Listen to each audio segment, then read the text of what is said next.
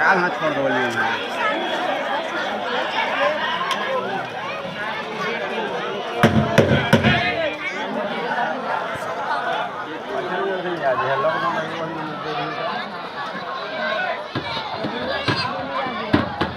पाँच मिनट खातिर आदमी